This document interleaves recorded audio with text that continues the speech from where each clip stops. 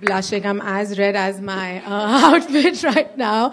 But firstly, thank you so much for choosing me. It honestly was an honor.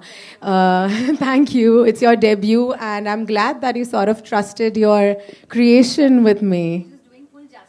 Thank you.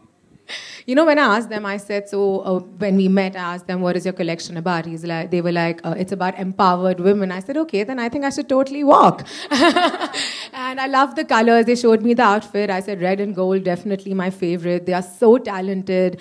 Uh, the entire collection was beautiful. Their clothes are so wearable. I felt extremely comfortable, easy. It was fun walking the ramp, which is very rare in my case. I'm always scared, Bhumi, don't trip. Please don't fall. They, but their clothes made it easy. So thank you so much. And more power to you guys. All of you, actually.